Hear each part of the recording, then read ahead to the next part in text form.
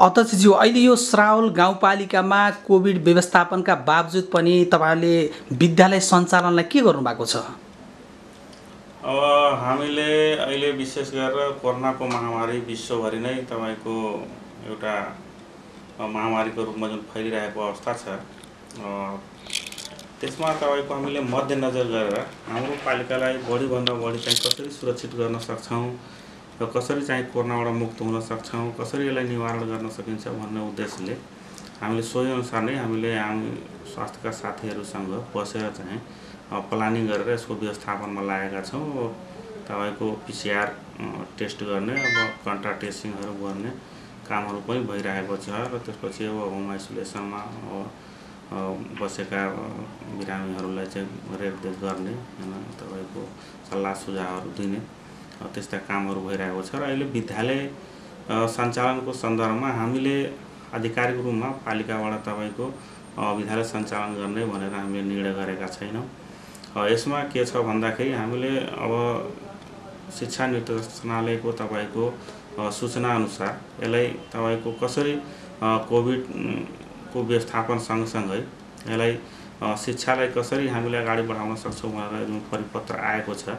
त्यसमा अनलाइन शिक्षा लगायतका अब तपाईँको विद्यालयमा पनि तपाईँको पठन पाठन गर्दाखेरि सामाजिक दूरी अब कायम गरेर हुन्छ कि कसरी हुन्छ भनेर चाहिँ जुन एक हिसाबले निर्देशन आयो त्यो हिसाबले हामीले तपाईँको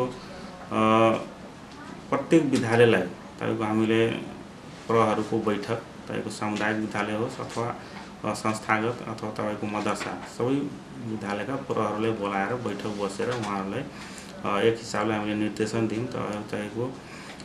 त्यसको कार्ययोजना बनाउनुहोस् तपाईँहरू आफ्नो विद्यालयमा। विभिन्न समितिहरू जुन छ त्यसको बैठक बसेर कार्ययोजना बनाइसकेपछि पेस गर्नुहोस् हाम्रो शिक्षा शाखामा। त्यो पेस भइसकेपछि शिक्षा शाखाको बैठक बसिसकेपछि कार्यपालिकाको बैठक बसेर निर्णय गरेपछि सञ्चालन गर्ने भनेर भनियो तर अहिले तपाईँको कार्ययोजनै तपाईँको धेरै विद्यालयको आउन नसकेको अवस्था छ। त्यसले गर्दाखेरि हामीले यो शिक्षा शाखाको त्यसपछि हाम्रो कार्यपालिकाको बैठकमा त्यो निर्णय गर्न सकेका छैनौँ र अहिले उहाँहरू तपाईँको कतिपय विद्यालयहरू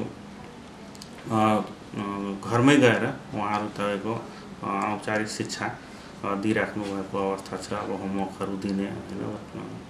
कपीहरू जाँच गर्ने त्यस्तो। त्यसपछि तपाईँको केही तपाईँको बिसजना पच्चिसजनासम्मलाई बोलाएर विद्यालयमा एक घन्टा दुई घन्टा तपाईँको होमवर्कहरू दिने यो सँगसँगै हामी यो यो त शिक्षालाई यसरी गरिरहेका छौँ। के छ अहिले यो कृषकहरूका लागि समयमा मल पाउन सकेनन् समस्या भयो त्यसैमाथि धानमा यो रातो जस्तो केही समस्याहरू देखियो रातो जस्तो पुगे जस्तो अनि केही कृषिले त भित्र अझ फेरि बिउको कुरा आएछ। तपाईँको पालिका त विशेष गरी पालिकाका केही क्षेत्रहरूमा डुबानको ठुलो समस्या रह्यो। कृषिमा तपाईँले कस्तो योजना ल्याउनु कहीँ सहकारी गर्नुभयो के छ किसानका लागि? यो किसानहरूको अहिले सबभन्दा ठुलो समस्या के छ भन्दाखेरि अहिले एक त तपाईँको कोभिडको महामारी तपाईँको कारणले गर्दाखेरि समयमा कृषकहरूलाई तपाईँको मल र बिउको व्यवस्थापन गर्नुपर्छ भनेर हामीले हाम्रो पालिकाभित्र तपाईँको समयमै तपाईँको कोर्डिनेसन गरेर मल र बिउको चाहिँ व्यवस्थापन गऱ्यौँ र हामीले सब्सिडी पनि बिउमा तपाईँको किसानहरूलाई दियौँ। र त्यसको साथसाथै तपाईँको कृषिका विभिन्न आयोजनाहरू तपाईँको ट्युबवेलदेखि लिएर तपाईँको सिँचाइका आयोजनाहरू पनि हामीले सञ्चालन गरिरहेको अवस्था छ। र अर्कोतर्फ तपाईँको हाम्रो पालिका तपाईँको बाढी डुबान क्षेत्र भएको हुनाले किसानहरूलाई ठुलो क्षति भएको जस्तो कि तपाईँको पाँच नम्बर वडा छ नम्बर वडा र सात नम्बर वडामा तपाईँको हजारौँ हजार बिघा बाली नष्ट भएको छ। किसानहरू एकदमै मर्कामा छन्। त्यसले गर्दाखेरि उनीहरूलाई तपाईँको हामीले सब्सिडी दिनुपर्छ भनेर तपाईँको एक हिसाब समग्र पालिकामा पचास पर्सेन्ट सब्सिडी तपाईँको गहुँको बिउमा हामीले दिने निर्णय गऱ्यौँ। र थप तपाईँको पाँच छ र सात नम्बर वडा यो तिनवटा वडामा अझै तपाईँको बढी बाढीबाट बाली नोक्सानी भएको कारणले गर्दा पच्चिस पर्सेन्ट थप गरेर हामीले पचहत्तर पर्सेन्ट तपाईँको सब्सिडी दिने काम भइरहेको छ। हामीले सहकारी मार्फत बिउहरू वितरण गर्ने।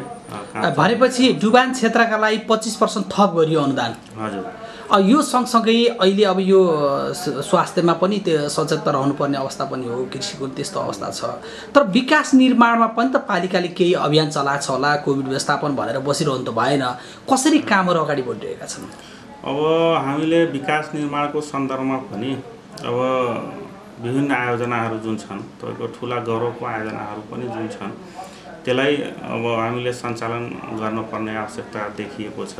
अहिले उपभोक्ताबाट भएको योजनाहरूलाई अहिले हामी रोकेका छौँ। तर तपाईँको अब टेन्डर प्रक्रियाबाट हुने ठुला आयोजनाहरू सञ्चालन गर्ने भनेर भनिरहेका छौँ र तपाईँको विभिन्न तपाईँको सडक पुल पिलेसा लगायतका अब भवन संरचनाहरू लगायतका यस्ता ठुलो आयोजनाहरू चाहिँ कामहरू भइरहेको अवस्था छ। सरस्वती भनिरहँदा गाउँपालिका क्षेत्रमा अहिले काम गरिरहनु पर्ने समस्याका विषयहरू अथवा चाहिँ एकदम गौरवका खुसी गर्नुपर्ने आयोजनाहरू त्यस्ता केही रहे? अब यस्तो अब कोभिडको बेलामा त अब प्रायः जसो अब धेरै अब समस्या नै भयो। अब योजनाहरू जुन हिसाबले अब हुनुपर्ने होइन समयमा हुन सकेन। अब हामीले अब नेपाल सरकारले गरेको निर्णय पनि अब पालना गर्ने पर्ने हो। त्यसको साथसाथै अब सावधानी र सतर्कताका कुराहरू पनि हो। अब तपाईँको अब केही अब सफ्टवेयर प्रोग्रामहरू हामीले जुन गर्नुपर्ने थियो त्यो सफ्टवेयर प्रोग्राम हामीले सबै तपाईँको तालिम गोष्ठी सेमिनार सभा सम्मेलनहरू सबै बन्द गऱ्यौँ होइन।